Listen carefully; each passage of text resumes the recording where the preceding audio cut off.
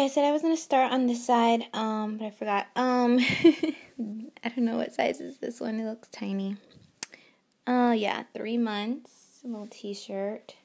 I like shirts a lot more than onesies because of blowouts and stuff. Usually they mess up the back of the onesie, so those shirts are better to put underneath this too because then you don't have an extra set of buttons. Like when you have an outfit, there's buttons.